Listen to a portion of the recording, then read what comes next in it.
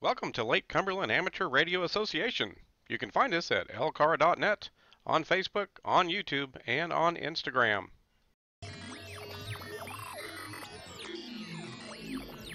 If you're enjoying the videos we're producing here at LCARA, please help our club out by hitting that subscribe button.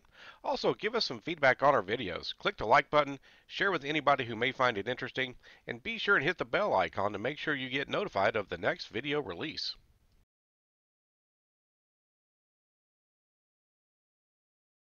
We're at Hamcation 2020 and we're with Matt Youngblood here at Flex Radio. Matt, I'm kind of new to Flex Radio. I don't know a lot about Flex Radio. I see the ads, but I need more information. Yeah. Can you give me a high level overview what's going on with Flex Radio? Yeah, sure. So we're a software-defined radio company. So we got our start back in 2003, and we really brought software-defined radio to ham radio. And so since then, we've been advancing that art. And really, back in the day, we started as as kind of a black box radio, where you have just the radio and you operate it from a PC. Right. And so we've come a, quite a long way since then, uh, where uh, we actually have implemented some of more of a traditional user interface. Okay. This is beautiful to look at. Yeah, this is called Maestro. So this device is actually a remote control head for our radio. So the big black box is the radio, That's right. but here we've got our control unit. That's right. So Head the unit. radio here has uh, antenna inputs on Right. the back. So RF comes in, and then we run it right into a high-speed analog to digital converter. Exactly. Okay. And so that analog to digital converter converts it, and then everything we else else we do as far as modulation, demodulation, uh, signal processing, filtering, all is done in software from that. So the benefit, as opposed to a, a, a traditional radio that was a super heterodyne radio, Exactly. uh, is that you don't have hardware between RF and your ears, okay, or as much hardware. It's just one piece of hardware. Right. And so once you're in digital domain, everything is much more precise. So you have uh, you know filtering done in MAD as opposed into uh, physical roofing filters. Exactly. sort of. Exactly. So that there are several benefits for that. We have much higher quality audio, uh, much sharper filters, um, and uh, those filters are also variable because they're done virtually. Right. So uh, in a in a radio that uh, a super heterodyne radio would have roofing filters and they'd be at set increments, right? Yep. Uh, so here you can uh, make them variable, so they can you know adjust based on the signal you're listening to. That's Understood. an example of the benefit of software-defined radio. But one of the things that we do, um, a lot of a lot of the competition are adopting this technology, which makes perfect sense. It really is the right way to go. Sure. We really differentiate ourselves because we are uh, more focused on the software than we are on the hardware. Okay, so to us, the the real true benefit of software-defined radio is the software. So at our company, we have this phrase that the software is the radio. Uh-huh. Um, that's because we are constantly upgrading our radio with new versions of software. And these include major new functionalities and performance improvements. Uh, and all you do is download that, Right. upload it into your radio. So it's, it's very powerful from that standpoint. We also have Ethernet on the back of our radios. That's Right. the communication mechanism for our radio.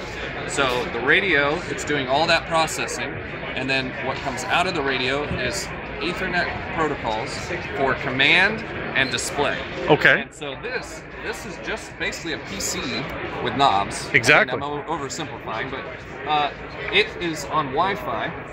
It has some inputs and outputs on it, microphone, key, PTT, all that. Okay. Now this can control this radio over the internet from anywhere. In fact, our remote is so good that we no longer bring antennas to shows. We now only operate remotely. So this is actually not operating this radio. This is just a stagnant display. We're actually operating a radio in New Jersey. In New Jersey. Yeah. And so, and you can see as I tune it, there's, it's just as if you're sitting in front of it. There's a built-in speaker, so you can hear. Mm -hmm. These signals are coming from the antenna, from the radio that's in New Jersey. And there's, it's just as if you're sitting in front of the radio. That's pretty cool, Matt. And so, um, another thing that we do is we try to be very uh, intentional with our user interface design. Okay, so uh, when we designed this device, we said we need to get these controls here for the user to use, uh, but we didn't want to just throw them all in the front panel. You know, uh, uh, a lot of our competitors they have to put all those controls on there, so they either put 100, 100 buttons and knobs on there, or they have a few buttons and knobs that do 100 different things. Well, and we've done some YouTube videos. We won't mention who it is, but uh, software-defined receivers, Yes. and there's just panel after panel. I mean, Yeah. and don't get me wrong. Once you learn all that stuff, it's cool. You've got a lot of flexibility, That's but right. you're talking about a user interface that'll be a little bit more intuitive. That's right. So when you look at this, when we designed this, we said we only want what we call tier one controls here. So these are things that you need to touch with one touch. Right. Okay. So these are, you know, uh, we have, you know, VFO, we have your volume.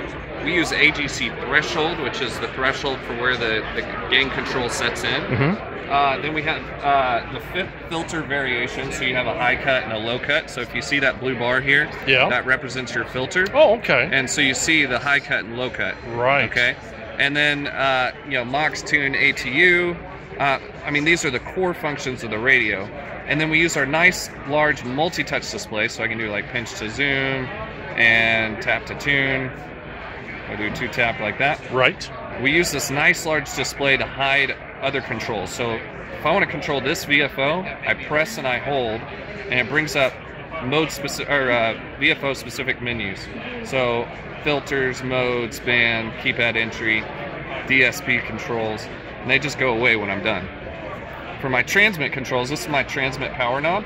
If I click that, it gives me a mode specific transmit panel. Okay, so uh, I'm in sideband, so I have my microphone, processor, um, you know, I've got my box, all that, and it just goes away when you're done. That is neat, and that gets rid of a lot of the clutter that you sometimes see on some of the other SDRs. Exactly. Yeah, and so all of this is available remotely. So the way we've designed the radio is that there is no difference operating remotely as locally. So the only thing you need to do to set that up is to connect this box to your home network Right. and then use a username and password to log in from anywhere. That's it.